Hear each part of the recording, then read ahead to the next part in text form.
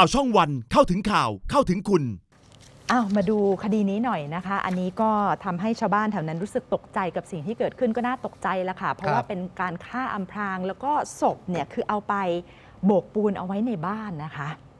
อันนี้เป็นกรณีที่นายสิทธิโชคสาโรธหรือว่าเสียสนอายุ 42 ปีค่ะ เป็นผู้รับเหมาก่อสร้างถูกคนร้ายฆ่า แล้วก็เอาศพไปโบกปูนฝังอำพรางในบ้าน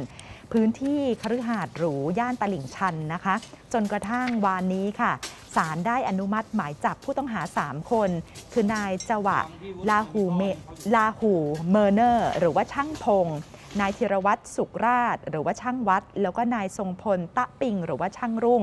ก่อนที่ช่างวัดกับช่างรุ่งเนี่ยสารภาพนะคะว่าช่วยอำพรางศพอืมหลังจากที่นายพงไปฆ่าเสียสน เพราะเข้าไปทวงค่าแรงแต่ตกลงกันไม่ได้ครับคุณอนุสักษ์ภูมิเทศค่ะ ผู้สื่อข่าวของเราลงพื้นที่เลยนะคะอืมไปพูดคุยกับคุณประพัฒสอนวัยประเสริฐเป็นลูกจ้างร้านอาหาร อยู่ห่างจากบ้านเกิดเหตุประมาณสัก 700 เมตรครับบอกว่าทุกวันตอนเที่ยงเนี่ย เสสนจะมาซื้อกับข้าวที่ร้าน เท่าที่ดูก็เป็นคนอัธยาศัยดีนะ ก็ไม่คิดเหมือนกันว่าจะมีเหตุการณ์แบบนี้เกิดขึ้น คือหลังจากวันที่ 9 กรกฎาคม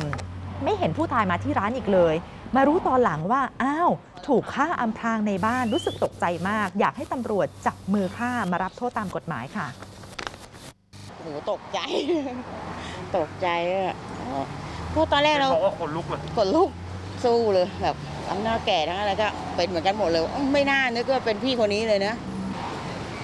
ไม่เห็นเลยหรือว่าจะเป็นโควิด หรือเขาจะย้ายแคมป์ไปอยู่ที่อื่นแบบลูกค้าหายไปอย่างเงี้ย แต่เขาไม่ได้คิดว่าแกจะเสีย ใช่ไม่เคยคิดเลยแบบว่าอย่างเงี้ยเราคิดเป็นในทางที่ดีไง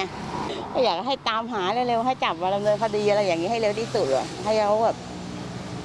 ให้เขารู้สึกรู้ซึ้งบ้างว่าครอบครัวการเสียไปมันเป็นยังไงอะเนอะ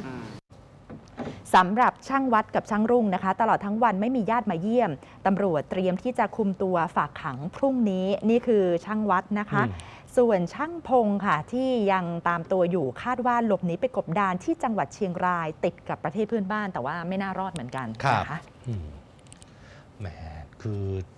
พอข่าวแบบนี้มันออกมาอืมคนในพื้นที่ก็สะเทือนใจแบบนะเห็นหน้าโอ้กันยอยู่หลัดๆ แล้วก็เป็นค่ะการฆ่าฝังอำพรางศพนะครับ สวัสดีครับ ผมจัดทีมะ อย่าลืมกดไลค์ กดแชร์ กด subscribe YouTube ข่าวช่องวัน จะได้ไม่พลาดทันข่าวทันทุกเหตุการณ์ เปิดเผยทุกความจริง จากทีมข่าวช่องวัน เข้าถึงข่าว เข้าถึงคุณ